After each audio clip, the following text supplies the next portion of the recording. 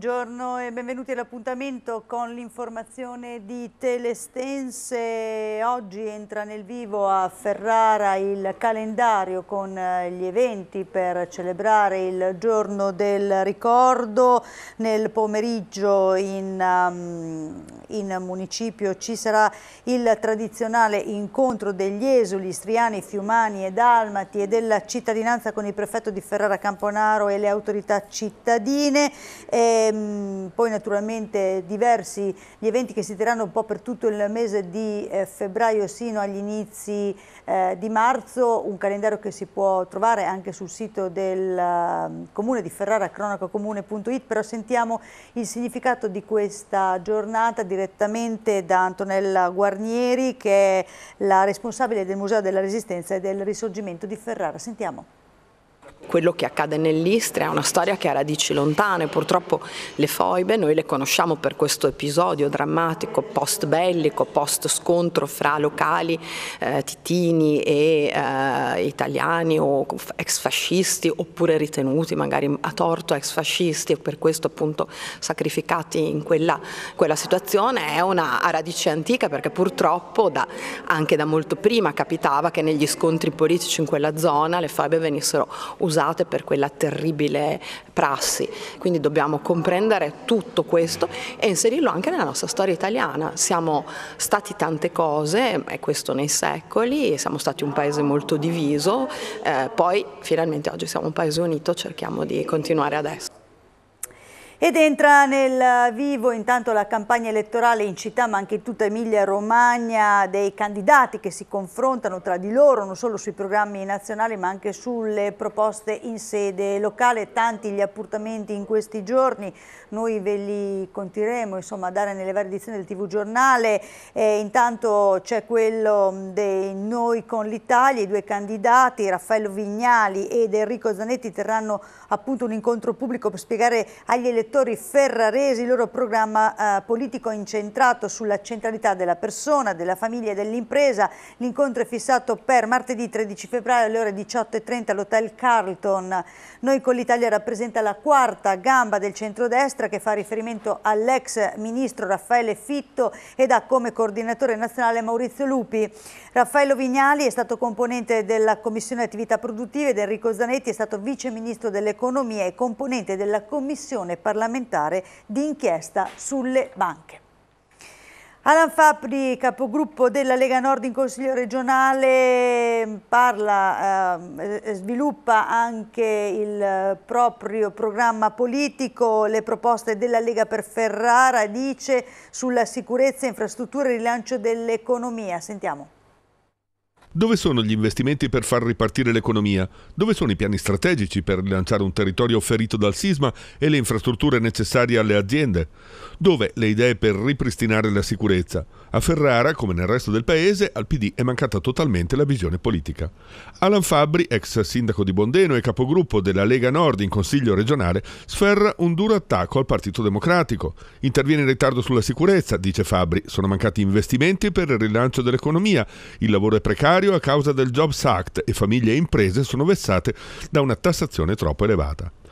Non manca, nella nota diffusa da Alan Fabri, una riflessione sugli effetti dei crack bancari che hanno danneggiato tanti risparmiatori, molti dei quali piccoli investitori che hanno creduto nella cassa di risparmio di Ferrara.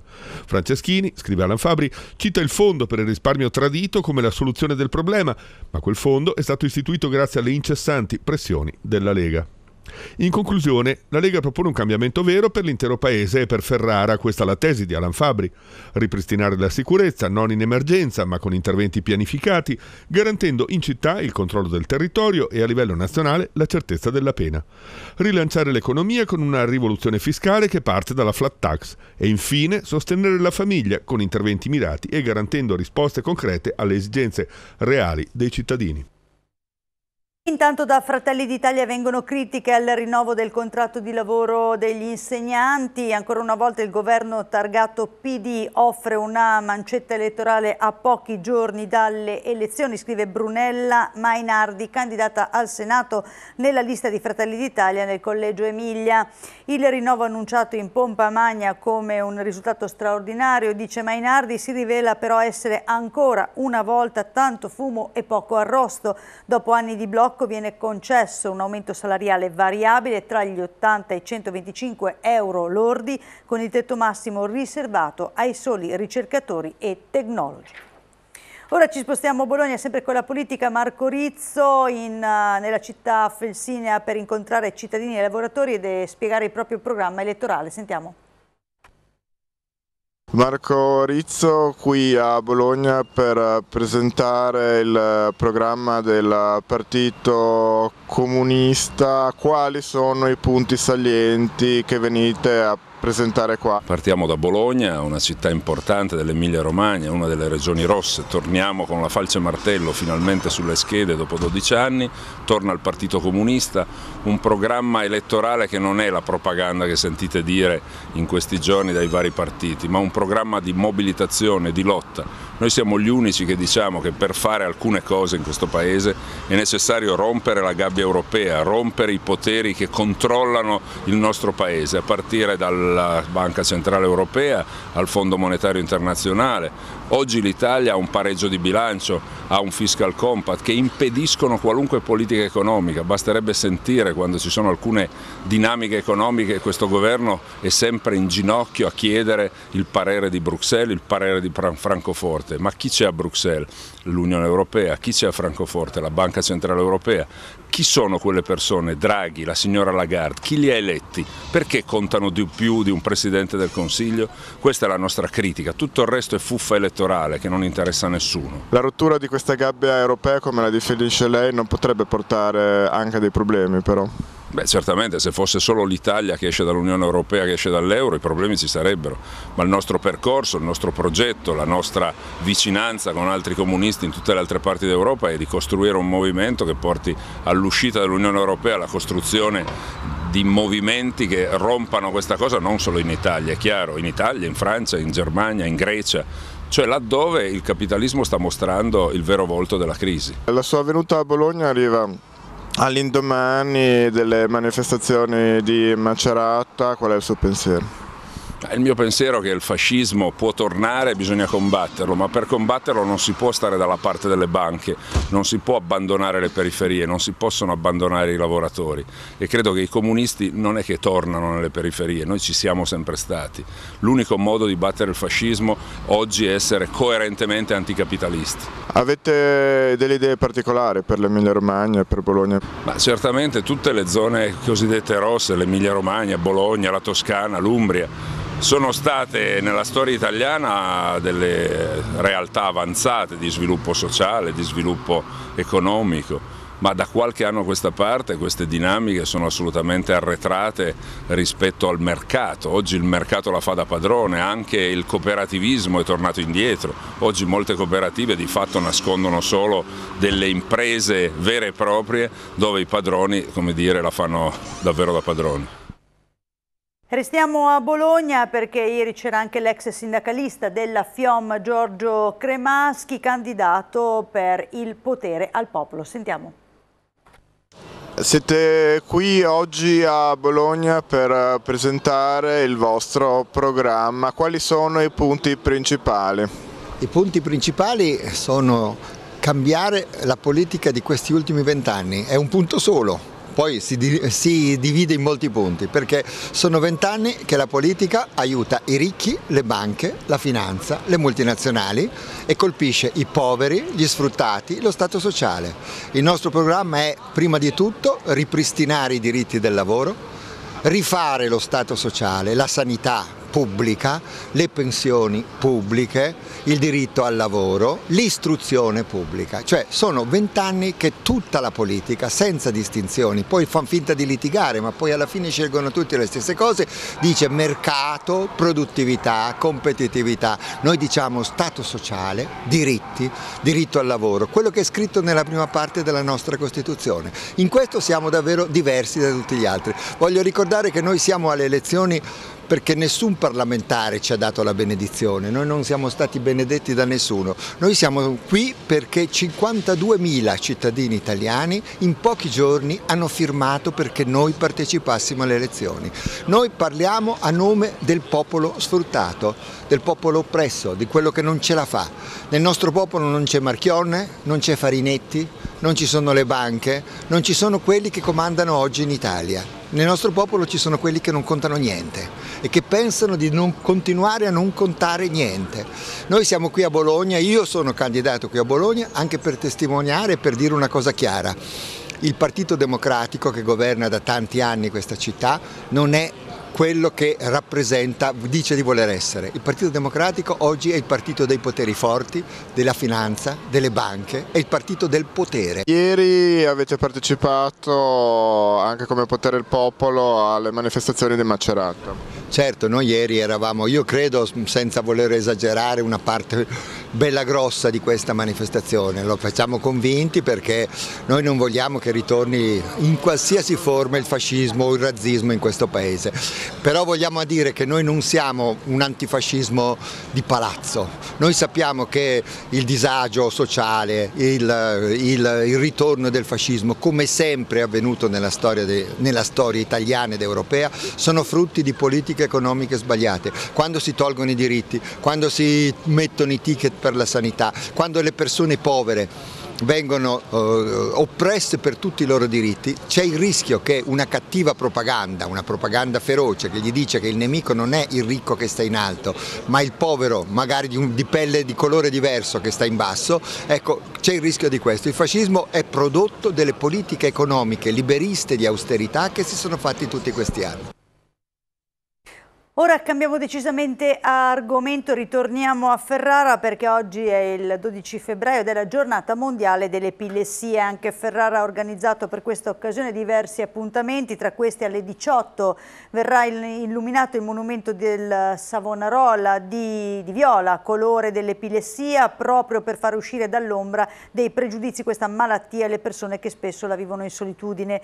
L'epilessia è una patologia neurologica cronica tra le più diffuse al mondo mondo, ma è anche la più invisibile, poco conosciuta e a volte persino eh, da chi ne soffre, ossia l'1% della popolazione mondiale. Secondo le ultime stime, in Emilia-Romagna ci sono circa 22.000 persone con epilessia e sono attesi ogni anno dai 1.100 ai 2.100 nuovi casi.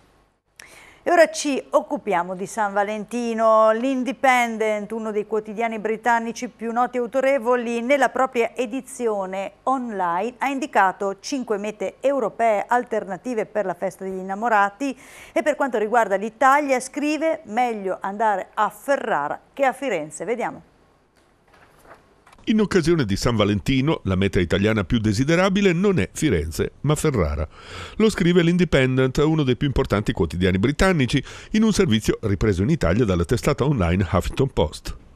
Il servizio dell'Independent indica cinque mete, per così dire, alternative, meno battute dai grandi flussi turistici, da consigliare a chi cerca una destinazione romantica, ma anche ricca di arte, storie e suggestioni enogastronomiche. Quindi, dice il quotidiano, meglio Bruges di Amsterdam, meglio Bordeaux di Parigi, meglio Praga di Budapest, meglio Annecy di Venezia e meglio Ferrara di Firenze. Firenze, culla del Rinascimento, offre ottimi motivi per essere visitata, spiega l'Independent, perché offre arte, architettura e buon cibo. Una valida alternativa, però, più tranquilla, meno assediata dai turisti, prosegue il quotidiano britannico, è appunto Ferrara spesso trascurata. Situata tra Venezia e Bologna, spiega l'Independent, è una città ricca di arte rinascimentale e sito del patrimonio mondiale dell'UNESCO. Passeggiando per il centro della città i turisti possono ammirare il castello estense e i palazzi che vantano affreschi di pregio ed esempi di arte rinascimentale. Non manca un breve excursus sulla cucina ferrarese e sui tanti ristoranti in cui si possono gustare le specialità tipiche della nostra terra.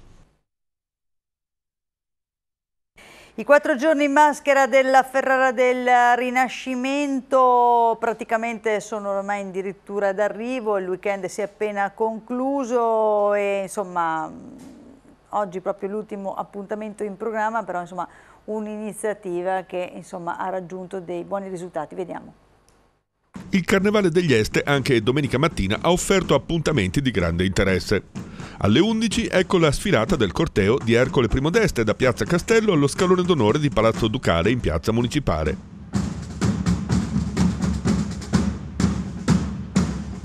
Al termine del corteo, dallo scalone, si è data lettura dell'editto di chiusura del Carnevale degli Este. Poi, sempre in piazza municipale, ecco il torneo di carnevale, sfida tra fanti con scudo e randello. Spettacolo suggestivo in cui gli armati del palio, bardati di tutto punto, hanno dato vita a combattimenti simulati, molto seguiti da ferraresi e turisti presenti in massa in centro storico.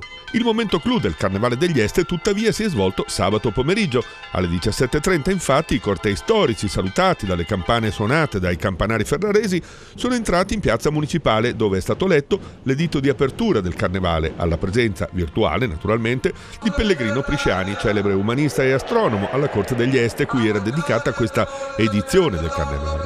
Alle 18.15 lo spettacolo dei gruppi armati del Paglio di Ferrara. Alle 18.30 la compagnia Lux Arcana ha presentato Belfagor con protagonista Il Fuoco.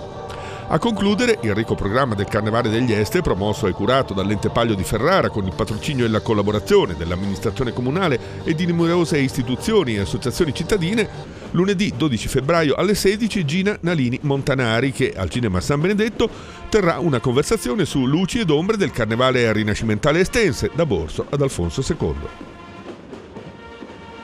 Ferrara Imola alla scoperta di Palazzo della Volpe grazie al, ad un restauro dal soffitto tornano alla luce antiche decorazioni e uno stemma molto pregiato.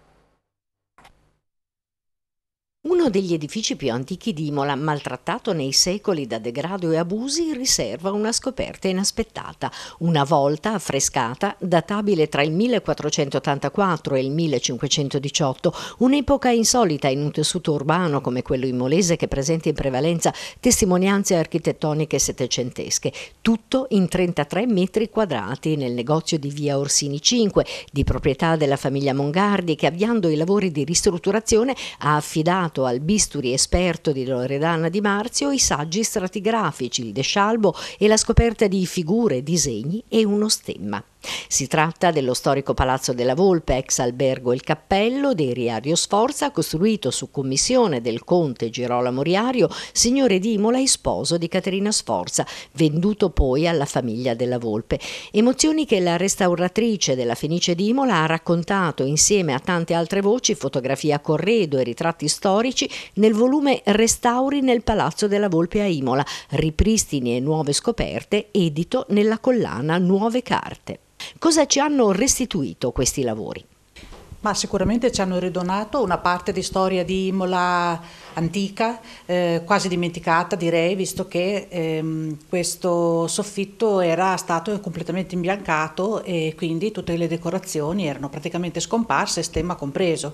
Eh, quindi oltre che un, elementi artistici, di, decorativi, ci ha restituito veramente una storia, un pezzo di storia di, di Imola, eh, a partire da Girolamo Riario insomma. Eh, diciamo che i primi sondaggi che sono stati fatti per avviare le pratiche anche con la soprintendenza per l'autorizzazione a eseguire i lavori ehm, hanno subito messo in evidenza che c'era qualcosa di molto interessante sotto, e, nonostante qualche lacuna che diciamo ce l'aspettavamo.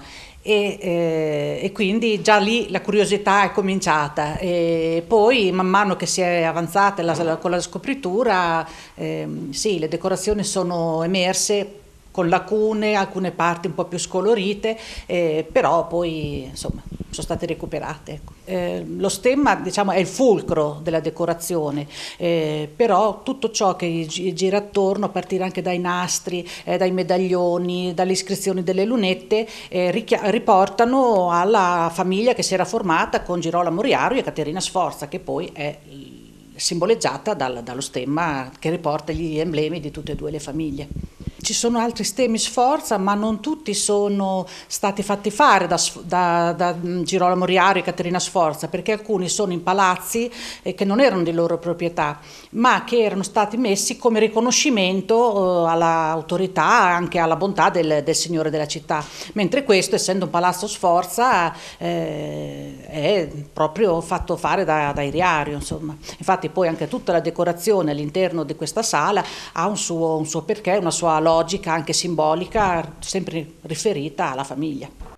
Naturalmente vi rimando a questa sera all'appuntamento con Lunedì Sport in diretta a partire dalle ore 20.45 con Alessandro Sovrani, naturalmente con tutti i suoi ospiti insomma, per capire un po' le ultime novità in casa Spal in previsione della partita di domenica contro il Napoli. Grazie di essere stati con noi, arrivederci.